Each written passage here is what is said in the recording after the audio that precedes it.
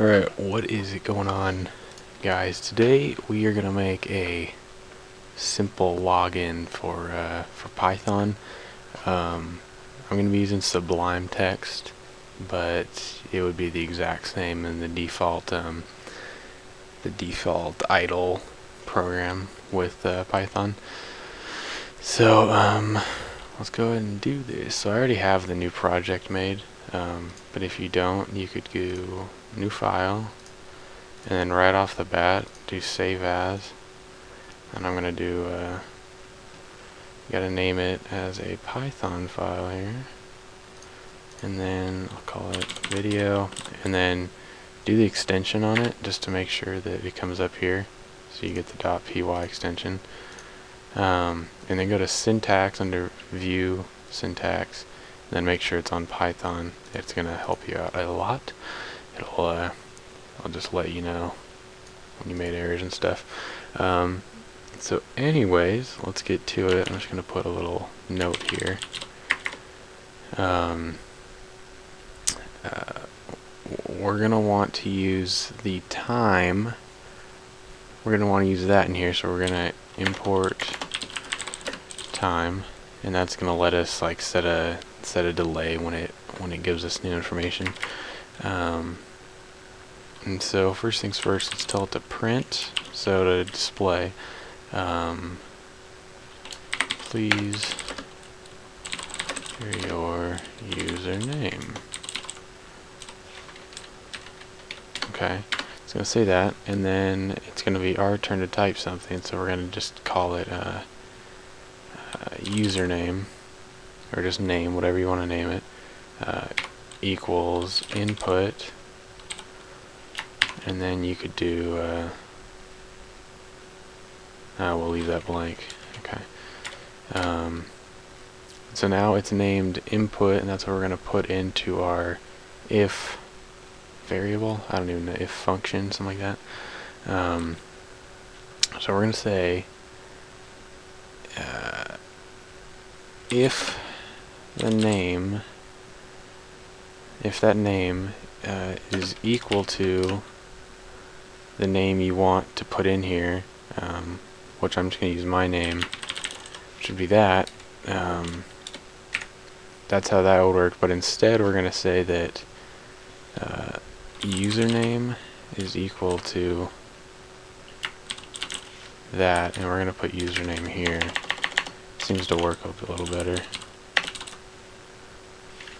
Okay, and then colons, and we're going to indent here. We're going to say uh, print, we'll say dot dot dot, like it's loading. Or we'll say please, please wait. And then that's when we're going to use our time variable. So it's time dot sleep.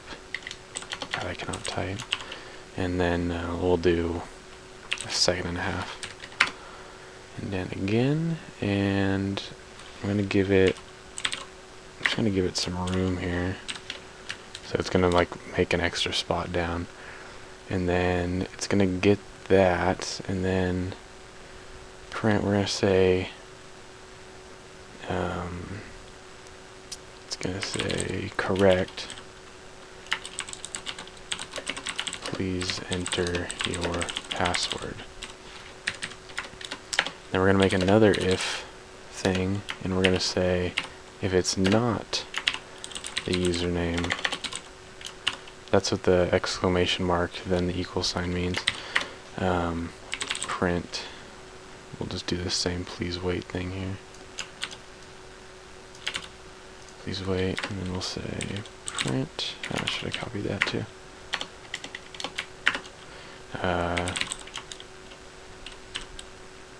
incorrect uh, closing program.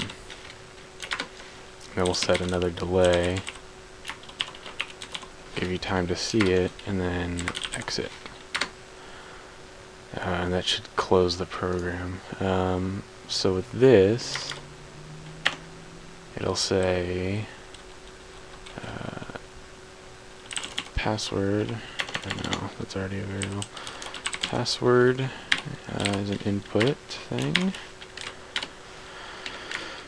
And the password, let's call password one, is going to be admin.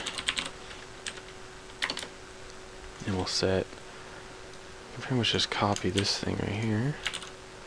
Change this, say if password equal to password one, please wait, and then it'll say correct. Um, logging in. And time sleep. Alright. Um, then we could do uh, print welcome.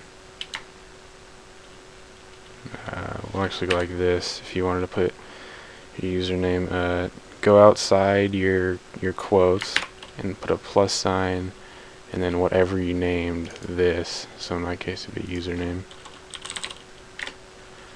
Okay, and then it'll uh, it'll just be waiting for an input. So save that. Control say or Control S, whatever. And here we have it right here, and I'm going to open with this. Here we go. It's asking us to please enter our username, which is this right here. And it's gone. There we go. Um, it's case sensitive too, so we'll put that in. It's going to tell us please wait. And then correct. And then uh, our password was admin. Tell us please wait. Correct. Logging in. And then it says welcome Lucas because that was what I put for username. And Windows just decided to do the little Explorer restart thing. Let's try this again.